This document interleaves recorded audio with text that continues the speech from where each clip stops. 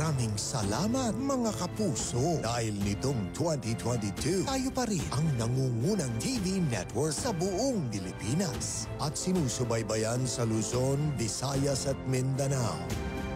Nangunguna rin tayo online. At sa radyo.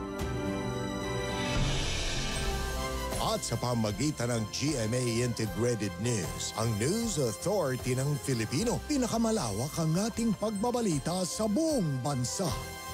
At naaabot natin ang iba't ibang dako ng mundo. Tuloy-tuloy rin ang Sparkle. Sa paghubog ng stars na bibida sa world-class programs na inyong natutunghayan sa telebisyon at online. Handog namin buong puso para sa Pilipino.